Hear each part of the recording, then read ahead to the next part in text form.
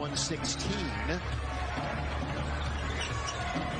Here comes Russ again. We'll back up a little bit. Down the middle. Goes LeBron. Throw. Cut a possession off for the Rockets. Now the Lakers need a scratch here. Westbrook. Tonight he's 10 for 17 from the floor. Once again, it's